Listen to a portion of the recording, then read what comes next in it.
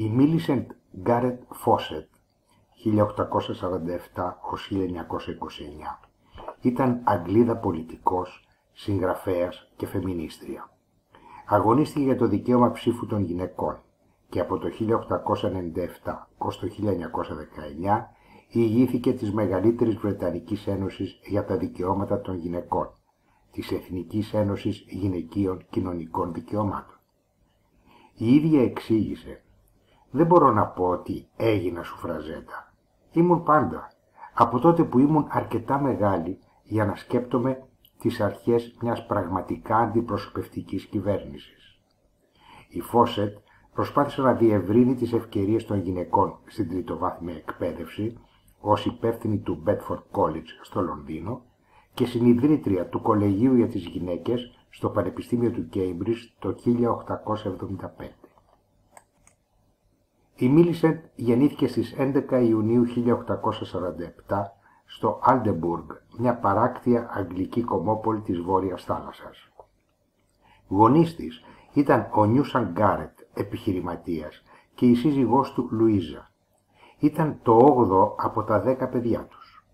Σύμφωνα με τους βιογράφους, οι Γκάρετ ήταν μια ενωμένη και ευτυχισμένη οικογένεια, στην οποία τα παιδιά ενθαρρύνονταν να είναι σωματικά δραστήρια, να διαβάζουν, να εκφράζουν τις σκέψεις τους και να ενδιαφέρονται για τις πολιτικές απόψεις του πατέρα τους που πέρασε από το συντηρητισμό στον φιλελευθερισμό.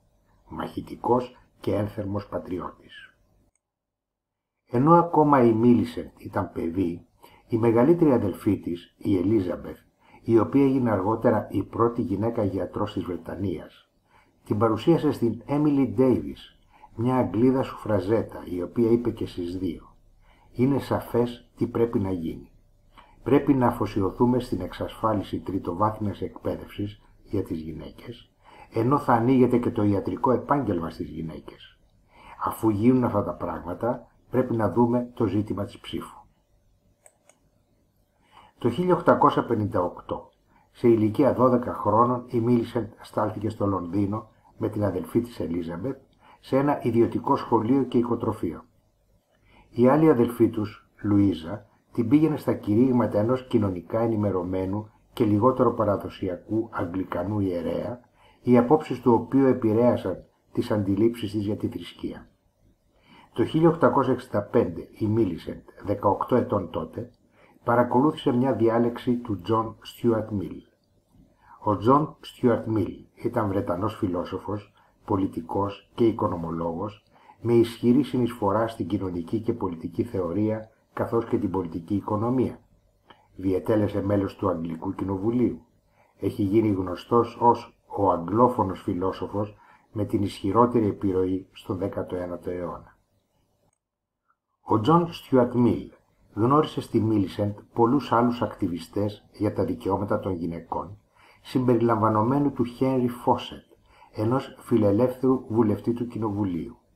Η Μίλισεντ και ο Χένρι παντρεύτηκαν στις 23 Απριλίου 1867.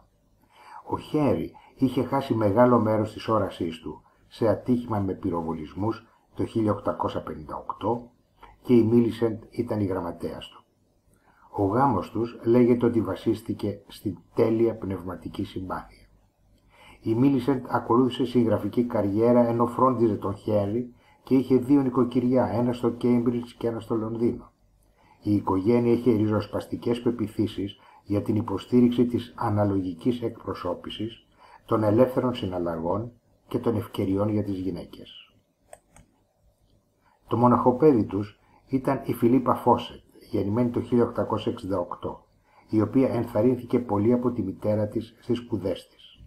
Το 1890 η Φιλίπα έγινε η πρώτη γυναίκα που απέσπασε κορυφαία βαθμολογία στις πτυχιακές εξετάσεις της Μαθηματικής Σχολής του Κέιμπριτζ. Το 1870 η Μίλισεντ δημοσίευσε την πολιτική της οικονομίας για αρχάριους, η οποία είχε πολύ μεγάλη επιτυχία. Έκανε 10 εκδόσεις σε 40 χρόνια. Το 1872 δημοσίευσε μαζί με τον σύζυγό της το βιβλίο «Δοκίμια και διαλέξεις για κοινωνικά και πολιτικά θέματα» που περιείχε 8 δοκίμια της Μίλισεντ. Το 1875 η Μίλισεντ Φόσετ συνδιοργάνωσε ένα κολέγιο στο Πανεπιστήμιο του Κέιμπριτζ στο οποίο προσφέρονταν διαλέξεις για γυναίκες. Οι γυναίκες απέκτησαν δικαίωμα να συμμετέχουν και στις εξετάσεις του Πανεπιστημίου από το 1881. Όταν ο σύζυγος της Φόσετ πέθανε από πλευρίτιδα τον Νοέμβριο του 1884, η Μίλισεντ αποσύρθηκε προσωρινά από τη δημόσια ζωή, πούλησε και τα δύο οικογενειακά σπίτια της και μετακόμισε με τη Φιλίππα στο σπίτι μιας αδελφής της. Όταν ξανάρχισε να εργάζεται το επόμενο έτος, επικεντρώθηκε στην πολιτική και ήταν βασικό μέλος αυτού που έγινε η γυναικεία οργάνωση τοπικής αυτοδιοίκησης. Το 1898 ανέλαβε την ηγεσία της Εθνικής Ένωσης Γυναικείων Κοινωνικών Δικαιωμάτων. Το 1899 απονεμήθηκε στη Φόσετ ένα τιμητικό διδακτορικό της νομικής από το Πανεπιστήμιο του Αγίου Ανδρέα.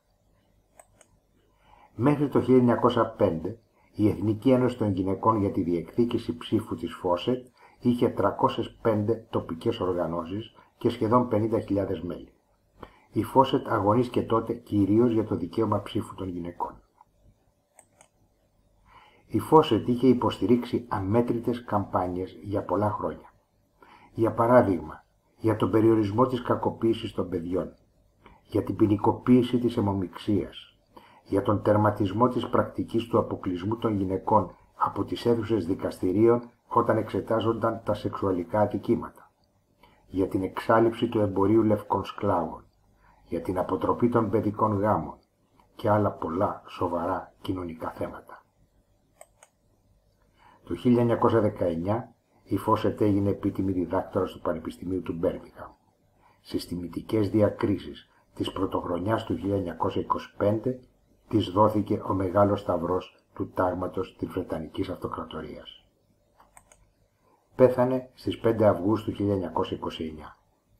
Το 2018 το άγαλμά της ήταν το πρώτο άγαλμα γυναίκας που τοποθετήθηκε στην πλατεία του Βρετανικού Κοινοβουλίου.